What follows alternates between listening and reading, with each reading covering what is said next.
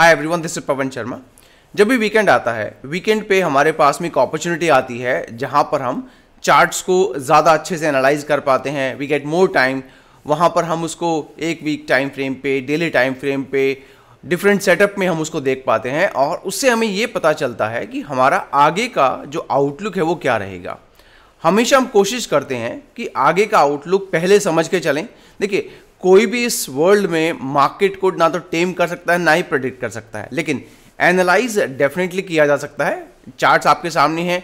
उसके थ्रू आप बहुत सारी चीज़ों को आराम से एनालाइज कर पाते हैं। तो वहाँ पर आपको करना क्या होता है? आपको ये देखना होता है चार्ट में इस टाइम पे करंट टाइम फ्रेम पे करंट सेटअप पे करंट क्लोजिंग पे क्या क्या अपॉर्चुनिटीज़ हमारे लिए हैं और अगला वीक या आने वाले कुछ मंथ हमारे लिए कैसे रहने वाले हैं। तो अभी मैं नोटिस कर रहा था। अब आपके पास डिफरेंट सेटअप होते हैं, जैसे हम मूविंग एवरेज के बेसिस पे ट्रेड लेते हैं या चार्ट को एनालाइज करते हैं। मूविंग एवरेज के अलावा हमारे पास में क्लासिक पैटर्न्स होते हैं, फिर हमारे पास में रिट्रेसमेंट लेवल्स होते हैं कुछ सपोर्ट रेसिस्टेंस या जोन बनते हैं मे बी हम कैंडल के बेसिस पे ट्रेड करते हैं। तो मतलब अलग अलग तरीके होते हैं।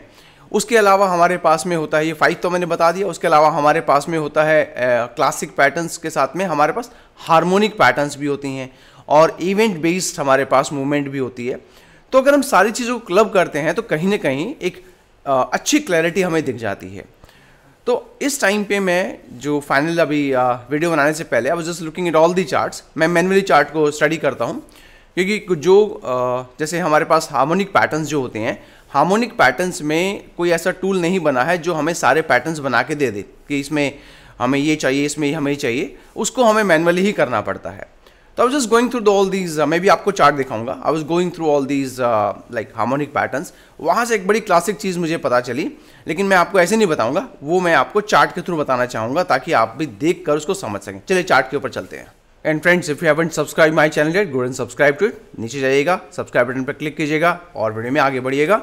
और आप हमें ज्वाइन कर सकते हैं हमारे टेलीग्राम हमारे ट्विटर और इंस्टाग्राम पे भी। आप जल्दी ही छोटी छोटी शॉर्ट्स वीडियो लेकर आएँगे ताकि थोड़े टाइम फ्रेम में काफ़ी अच्छी इन्फॉर्मेशन आप दे सकें। चलिए आगे बढ़ते हैं। अभी आप स्क्रीन पर जो चार्ट देख रहे हैं, ये निफ्टी का डेली टाइम फ्रेम का चार्ट है। आप देखेंगे इस चार्ट पे मैंने कुछ टूल्स प्लॉट किए हुए हैं। ज़्यादातर मैं इंडिकेटर यूज़ नहीं करता बिकॉज़ इंडिकेटर की बात करें या टूल्स की बात करें तो टूल्स ज़्यादा पॉपुलर है या ज़्यादा पावरफुल हैं। इंटरेस्टिंग uh, मैं आपको बताता हूँ एक बुक मैं पढ़ रहा था I'll cover that in the next video वो बुक पब्लिश uh, हुई थी 1967 या 71 में पब्लिश हुई थी। मतलब अगर बात करें तो आज से 50 इयर्स पहले। और आज भी वो बुक उतनी ही रेलेवेंट है जो 50 साल पहले थी। सोचिए हम कहते हैं कि टेक्नोलॉजी चेंज हो गई नए सेटअप आ गए। मैं कहता हूँ, कुछ भी नया नहीं आया है। जो 50 साल पहले था, आज भी वही है। कोई चेंज नहीं हुआ। बस आपको डिफरेंट फॉर्मेट में जैसे ऑरेंज का लॉलीपॉप है स्ट्रॉबेरी का हो गया एप्पल फ्लेवर हो गया, वो फ्लेवर आपको पकड़ाए जा रहे हैं, लेकिन बेसिक क्या है? लॉलीपॉप ही है। मतलब समझिएगा कोर जो हमारी ट्रेडिंग होती है, वो आज भी वही है। बस उसको आ, अपना नाम करने के लिए डिफरेंट फॉर्मेट में इधर उधर घुमा फिरा के फालतू के वर्ड्स बना बनो के प्रेजेंट किया जाता है। But if I look at the books which वो पब्लिश फिफ्टी ईयर्स बैक आज भी वो उतना ही काम कर रही हैं। अब जैसे जो मेरे चार्ट पे आप देख रहे हैं यहाँ पे आपको एक फिबोनाची रिट्रेसमेंट नज़र आ रहा है एक ये ब्लू लाइन आपको नज़र आ रहा है और नीचे की तरफ़ आपको रेड लाइन होगा and then you will see green lines also ये सारे के सारे टूल्स हैं। मैं ये देखना चाहता हूँ कि मार्केट में इस टाइम पे आ, क्या क्या मूवमेंट अवेलेबल और मार्केट इस टाइम पे खड़ा कहाँ है हमारे लिए। अब देखिए नोटिस करें हम बात को।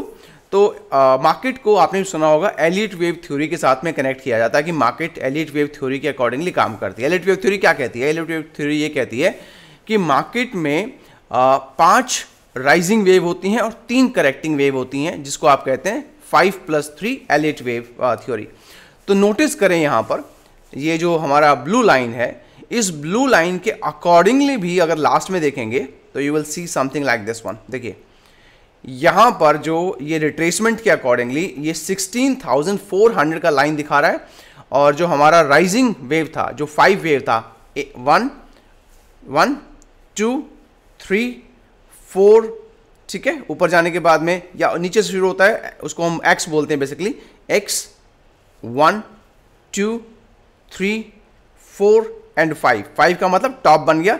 टॉप के बाद में वन फ़र्स्ट करेक्शन थोड़ा सा रिट्रेसमेंट टू और फर्दर करेक्शन थ्री इस टाइम पे चाहे मैं उसको बड़े टाइम फ्रेम पे चूज़ करूँ, चाहे मैं छोटे टाइम फ्रेम पे देखूँ मतलब वीकली टाइम फ्रेम पे चेक करूँ या हम डेली टाइम फ्रेम पे चेक करें, दोनों तरफ़ ये कह रहा है कि इस टाइम हम करेक्टिव वेव के अंदर हैं।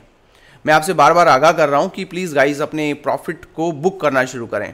अब यहाँ पर इसको सपोर्ट करने के लिए भी हमारे पास बहुत सारी चीज़ें हैं। हाँ एक चीज़ हमारे पास में आने वाला बजट और कमिंग रिज़ल्ट सीज़न तो उसके अकॉर्डिंगली तो डेफिनेटली कर सकते हैं। यहाँ पर सिर्फ़ इतना ही नहीं है तो मैं आपको सिर्फ़ निफ्टी का चार्ट दिखा रहा हूँ। अगर देखेंगे तो यहाँ से करेक्शन नज़र आ रहा है, जो लेकर जाएगा सिक्सटीन फोर हंड्रेड तक। आपको याद है, हम कुछ टाइम पहले सिक्सटीन फोर हंड्रेड का टारगेट लेके बैठे हुए थे। अब ये इतना जल्दी अचीव नहीं होता है। टाइम लगता है बट ये हो जाएगा। और यहाँ पर अगर आप देखेंगे ये लेवल है एटीन थ्री हंड्रेड का।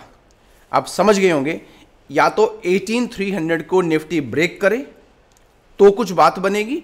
नहीं तो आपका अगला टारगेट 16,400 500 का आएगा ही आएगा। अब यहाँ पर कोई कुछ भी बोले जो चार्ट इस टाइम बता रहा है आपको उसके ऊपर रिलाई करना चाहिए। यहाँ पर या तो 18,300 या फिर 16,400 बस हमें इसके अलावा कुछ नहीं सोचना चाहिए। अब बहुत सारे कमेंट्स जैसे आप भी मुझे कमेंट करके बताइएगा बहुत सारे कमेंट्स आप भी देखते होंगे। 19,000 जाएगा 19,500 जाएगा। हम कब से लड़ रहे हैं कि भाई अभी कहीं नहीं जाने वाला अभी पूरा 2022 तो कहीं गया नहीं। ये हमने जनवरी या फेब में लास्ट ईयर बोला था। फिर से अभी बात कर रहे हैं आपसे कि अभी कोई ऐसा चांस नहीं है कि मार्केट राइज करे। थोड़ा बहुत ये ऊपर नीचे होता रहेगा इसको राइज नहीं बोला था। राइज बोला जाता है कि मार्केट भागती चली जाए। ये जो करेक्शन आप देख रहे हैं जो 16,500 की करेक्शन है मैं ये कह रहा हूँ आप ये बोलिए कि सब मिलकर अगर करेक्शन करके 16,500 तक ले आएँगे उसके बाद जो मार्केट भागेगा अगले पाँच छः साल तक नहीं रुकेगा। जो पैसा लगाना है मतलब उसके बाद आपको नॉलेज है नहीं है जो परवाह आप जिस स्टॉक में डालेंगे सारे स्टॉक काम करेंगे। ऑफकोर्स वो वाले नहीं, बर्बाद वाले। अच्छे स्टॉक जिन्होंने अभी रिसेंट में राइज किया था करेक्शन के साथ करेक्ट किया, उन स्टॉक में पैसा डालेंगे, सारे के सारे स्टॉक राइज करेंगे। अब मैं यहाँ पे कुछ और भी चीज़ चेक कर रहा था, जैसे वन वीक के टाइम फ्रेम पे मैं देख रहा था, वहाँ भी यही सिचुएशन आ रही है। अगर आप देखेंगे सिचुएशन में, यहाँ भी अगर देखेंगे तो यहाँ पर ये आपके पास में फाइव वेव थ्योरी यहाँ भी बन चुकी है। चलो, वहाँ तो हमारा डेली में वन और टू भी ए और बी भी बन गया है, अब हम सी का वेट कर रहे हैं। एज पर the weekly time frame A भी नहीं बना है। और यहाँ देखेंगे, पहला टारगेट सेवनटीन फोर हंड्रेड है सेकेंड टारगेट सेवनटीन थाउज़ेंड है सिक्स जो है थर्ड टारगेट इसमें सिक्सटीन फोर हंड्रेड के आस सिक्सटीन फाइव हंड्रेड के आसपास है। इट्स फाइन अब मैं आपको कुछ और दिखाना चाहता हूँ। देखिए, यहाँ पर हमारे पास में ये कौन सा है? ये है श्री राम फाइनेंस। देखिए, यहाँ भी पूरा पूरा पैटर्न बन चुका है ए बी बन चुका है सी की तरफ़ जा रहा है मार्केट या तो वो बी को क्रॉस करेगा तब ऊपर देखेंगे ये कौन सा है? उगार शुगर भी आ, ये ये तो थोड़ा सा इसमें करेक्शन हमें लग रहा है बढ़िया वाला है। फोर्थ वेव में है यहाँ पर तो फिफ्थ वेव बनने की उम्मीद है। शुगर इंडीज वैसे भी अच्छी काम कर रही है। एमआरएफ में भी देखिए ए बी शुरू हो गया है। फाइव से लेके ए और बी सी तक जा रहा है। और मैं आपको अनलिमिटेड स्टॉक्स दिखा सकता हूँ। नज़र रखिएगा मैं यहाँ बैंक निफ्टी का देखेंगे यहाँ भी आपको ऐसे नज़र आ रहा है। मैं आपको अनलिमिटेड स्टॉक्स दिखा सकता हूँ। 90 परसेंट स्टॉक्स हाँ ये हनीवेल ऑटोमेशन में हमारा पूरा पूरा जो कंप्लीट हो चुका है। इस तरह से अगर आप चेक करेंगे तो maximum stocks maximum trades cement sector अभी मैंने रिसेंटली पोस्ट किया था, वहाँ पे सीमेंट के बारे में बात किया तो देखिए सीमेंट सेक्टर में एक अच्छी मूवमेंट आने वाली है। और इंडिया ये है थ्री एम इंडिया यहाँ भी पूरा हो चुका है। So what I am trying to explain here is अभी प्लीज़ किसी भी बड़े स्टॉक में मत फंसीएगा, किसी भी बड़ी मूवमेंट को दिमाग में रख के या उम्मीद करके मत फंसीएगा because hope is going to definitely kill you मैंने बहुत सारे स्टॉक्स उठाए थे मैंने लगभग इस अभी last one two two hour में 100 से 200 स्टॉक्स को मैंने एनालाइज किया था और तब मैंने डिसाइड किया कि ये वीडियो मैं आपके लिए बनाऊँ बिकॉज़ यहाँ पर बहुत सारे इन्फॉर्मेशन है जो हम शेयर कर सकते हैं। आ, ये क्या है? अल्ट्राटेक सीमेंट सीमेंट सेक्टर में काफ़ी अच्छी मूवमेंट आने वाली है। श्री सीमेंट देखिए वो अपनी पूरी करेक्शन कर चुका है। अल्ट्राटेक सीमेंट देखिए फोर्थ वेव में पाँचवा बढ़ेगा। तो मतलब यहाँ पर डेफिनेटली हम सोच सकते हैं। टेन थाउज़ेंड का टारगेट दिख रहा है यहाँ तो। through all these uh, charts and I found that most of the chart uh, the uh, brands जिनकी बात करूँगा वो अभी हमारे फिफ्थ वेव में अटके हुए हैं। फिफ्थ और उसके बाद में करेक्शन वेव में अटके हुए मैं फिफ्थ वेव नहीं कहूँगा। Let's keep it very simple वो हमारे करेक्शन वेव में अटके हुए हैं। और जब तक ये करेक्शन पूरा नहीं होता जब तक ये करेक्शन पूरा नहीं होता मैं चाहूँगा आप कोई भी नई इन्वेस्टमेंट ना करें। अनटिल देन आप ट्रेडिंग पे ज़्यादा ध्यान दीजिए। आप इंट्राडे uh, कर सकते हैं खूब सारा आप ऑप्शन में ट्रेड कर सकते हैं आप वीकली स्ट्रैटेजी बना सकते हैं लेकिन अभी अपना कोई पैसा इन्वेस्टमेंट के लिए ब्लॉक ना करें। और guys hope this information will be useful for you आने वाले वीडियोस में मैं आपको हार्मोनिक पैटर्न्स के बारे में थोड़ा समझाऊँगा और ये वेव थ्योरी क्या है वो भी आपको डेफिनेटली बताऊँगा। और until then take care guys और जाने से पहले लाइक और सब्सक्राइब करना मत बोलेगा I see you to my next video have nice day take care bye